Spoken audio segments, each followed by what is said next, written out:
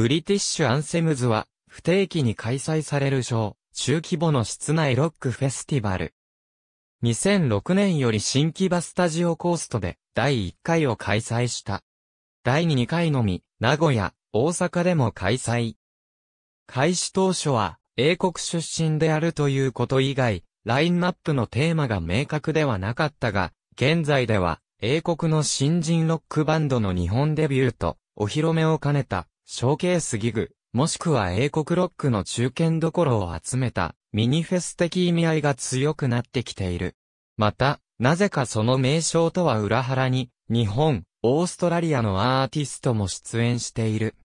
これは、知名度の低いバンドだけでは集客力に不安を持つ主催者側と、これを機に洋楽志向のリスナーにその存在をアピールしようという日本出演陣の所属する各レーベルとの一致した思惑が反映していると思われる。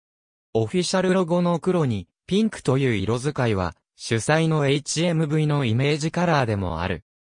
2016年現在、2010年の第9回を最後に、フェスは休止中。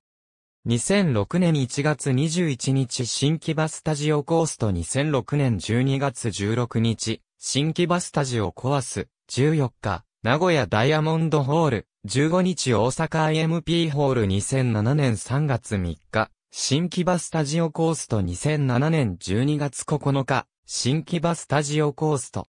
2008年3月1日新木場スタジオコースト2008年11月16日、新木場スタジオコースト2009年3月14日、新木場スタジオコースト2009年12月6日、新木場スタジオコースト2010年4月25日、新木場スタジオコースト。ありがとうございます。